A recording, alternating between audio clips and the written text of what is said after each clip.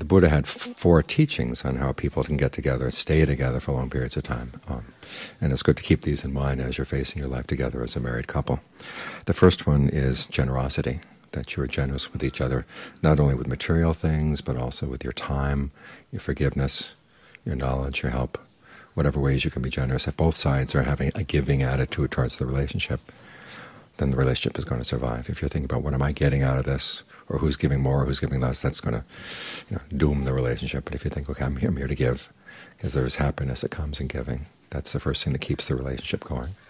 The second one is kind words, which means not only saying kind things or things the person other other person wants to hear, but there are times when you might want to say something that the person doesn't want to hear. In which case, you have to figure out the right time and occasion to say that. You know, what's the the way to approach that? Because you want to show respect the other person, because this is what keeps a relationship alive: is the sense that you share values together and you respect one another. Um, the, the worst thing for a relationship is that there's any disrespect or contempt in it. So if the other person is doing something you think is, is totally stupid, you say, well, no, I'm not going to say it's totally stupid, but you find ways of talking to the person so the person doesn't lose face. You don't do this in front of other people. This is something that you, you wait for the right time and the right place to say these things and choose the right words carefully. The third quality is that when you help each other, you try to make sure your help is genuine. It's not just help for the sake of show. You know, say, I made this, I did that for you, why aren't you doing this? It's more like I'm looking at what is you, what is it you really need.